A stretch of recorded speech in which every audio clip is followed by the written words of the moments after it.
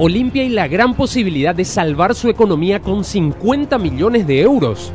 El Super Mundial de Clubes es la competencia a la que todos aspiran en el 2025 y entre los equipos paraguayos, Olimpia es el que hasta ahora está más cerca de poder participar.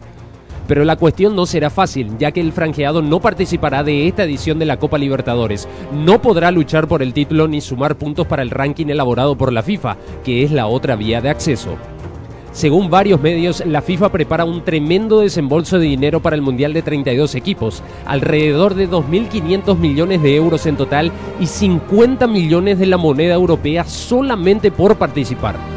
Para ganarse un cupo al Mundial de Clubes 2025, Olimpia debe esperar que Palmeiras, Flamengo o Fluminense sean campeones de la Libertadores 2024 y que clubes como Nacional de Montevideo, Independiente del Valle, Barcelona y Cerro Porteño no lleguen más allá de por lo menos los cuartos de final para no superarlo en el ranking.